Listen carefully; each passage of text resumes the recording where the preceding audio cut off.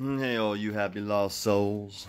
Um, I went out on a little, uh, you know, artifact finding adventure. We got the stuff washing off in the, uh, the cleaner there, just so we can get all the bacteria potential parasites from raccoons and whatever else are on the banks of the Pennypack. But, um, and, uh, yeah, so like um, I really appreciate all those who reach out and uh, who have joined the channel recently, who are into finding artifacts, who are into unraveling the mystery of ancient North America and you know breaking this Clovis first paradigm, which has totally halted the progression and the understanding of you know ancient mankind in in the Americas and, and that story. And how that story is missing from the overall picture of humanity.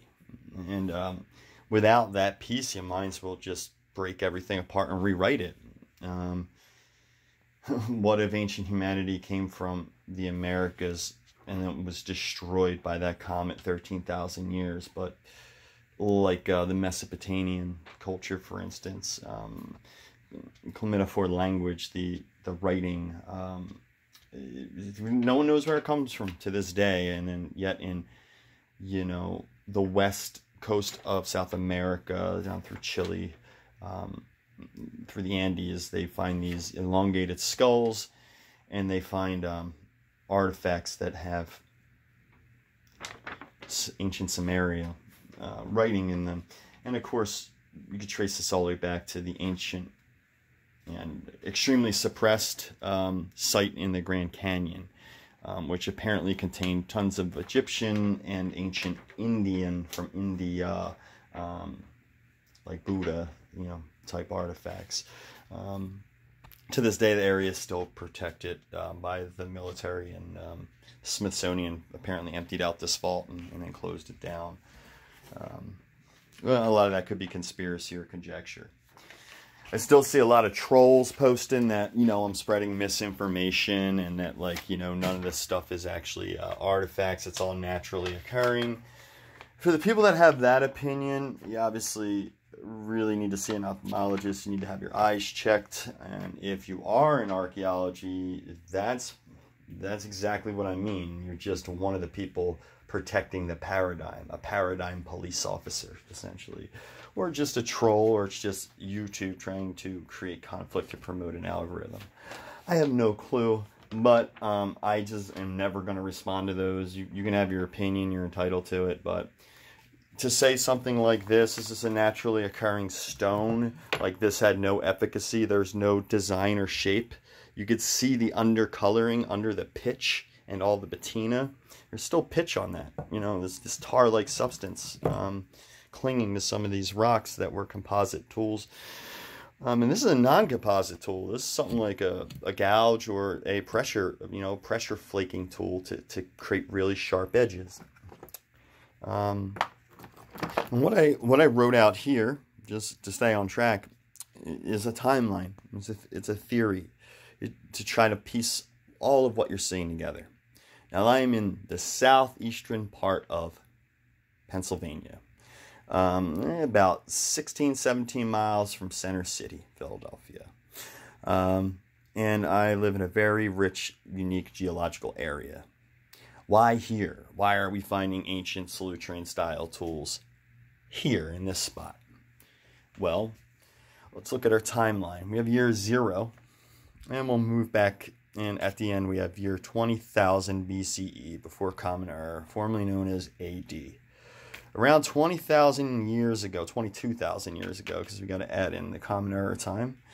About 20,000 BCE, 22,000 years ago, to about 15,000 BCE, 17,000 years ago, is where I find a lot of Solutrean artifact type stuff. The little saws, the sewing instruments, the, the hooks, the intricate um, diamond-shaped um, preforms and uh, these thinner agate-type tools, tools like this that were obviously used for sewing, longer like form needles.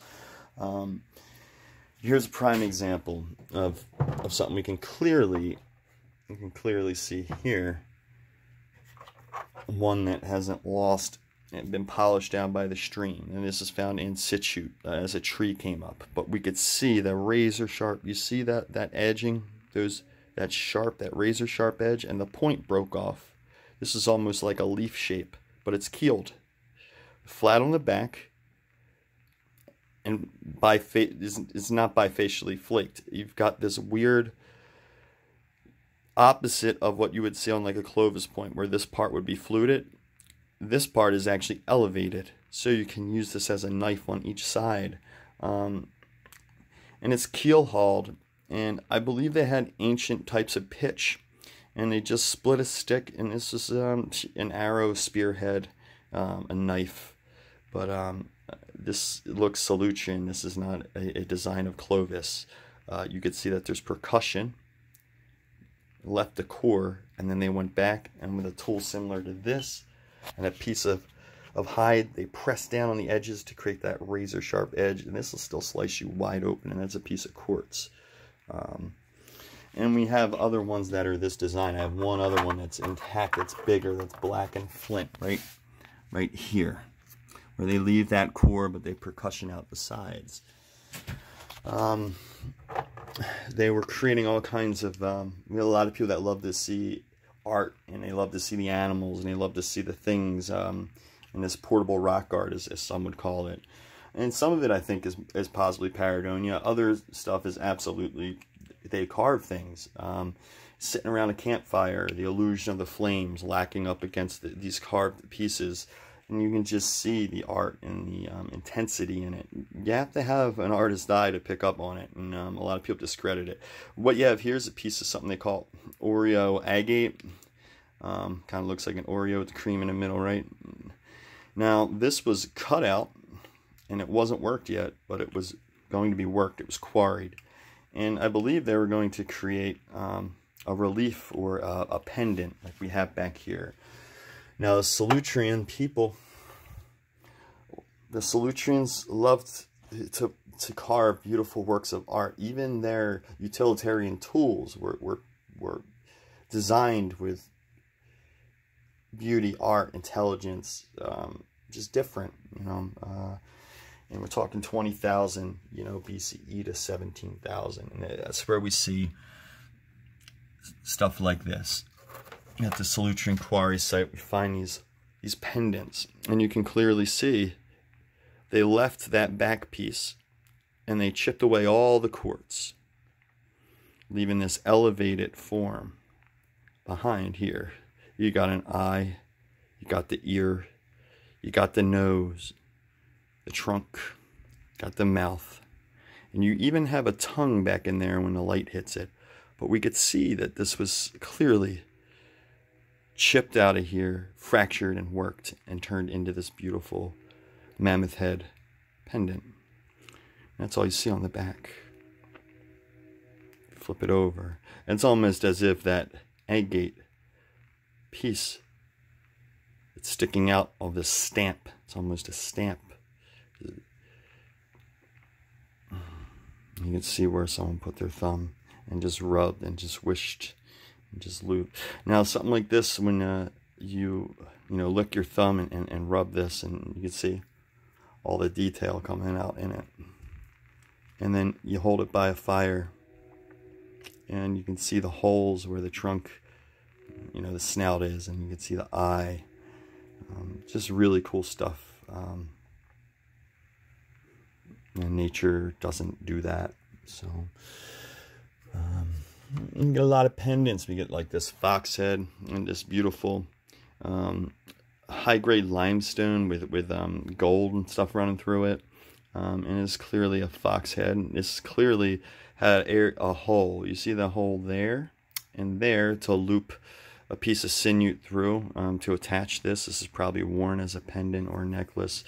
And then what you're seeing um, during this Solutrean period of time is a veneration, a belief system forming where they're leaving a pair of their best artifacts behind. They take a careful time to cover it up and lay them side by side. And then when stuff comes along and uh, strips the uh, that layer off and it leaves the two artifacts behind, you'll see like a matching matching thing, a matching kilt with uh, a planing tool that matches right next to one another.